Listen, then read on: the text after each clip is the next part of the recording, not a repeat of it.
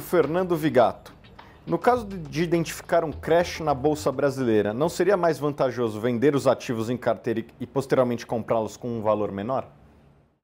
Bom, para você poder identificar um crash, é preciso que você tenha um, um senso futurólogo extraordinário. Né?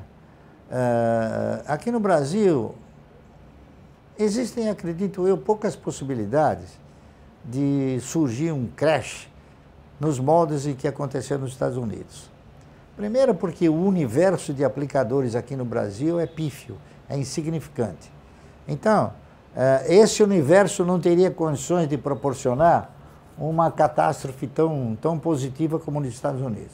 Os Estados Unidos tem o quê? Cerca de 86, 87% da população tem ações. Então, um universo dessa natureza, ele tem o quê?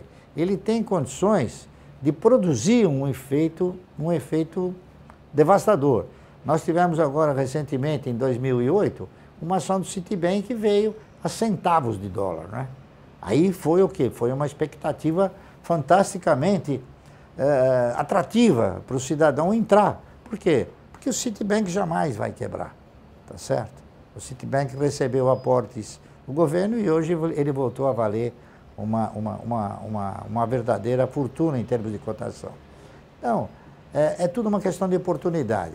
O creche, ele é um, ele é um fator de mercado. Se você souber, se você souber avaliar, uh, eu acredito, e eu não sei avaliar precisamente, mas eu acredito que no creche, em 1929, teve muito mais gente que ganhou do que gente que perdeu nos Estados Unidos. Essa que é a verdade. Tá certo? E você, como investidor experiente, você já identificou alguma vez de antemão, ah, vai ter um crash aqui? Não. O que nós, o que nós detetamos, conseguimos detetar, sem termos a pretensão de alguma futurologia, foi quando a, a, a ex-presidente Dilma, através da, da implementação do decreto-lei 579, que ela pretendeu, com aquele decreto, reduzir o custo da energia elétrica, né? uma coisa que a gente estava vendo, o mercado inteiro, e todos nós que acompanhamos o mercado sabemos que é, é muito difícil você reduzir custos por decreto. Né? Isso tem que ser feito através de planilhas, de, enfim, de avaliações e, e de mecanismos também. Né? Então, uh, uh, avaliou-se que havia uma possibilidade muito grande das empresas do setor de energia elétrica, especificamente, produzirem um, um, um recuo. Como de fato recuaram, né? A Eletrobras, que estava a 26 reais, veio até 4 e alguma coisa. Quer dizer, não deixa de ser um crash, né? um, um, estouro.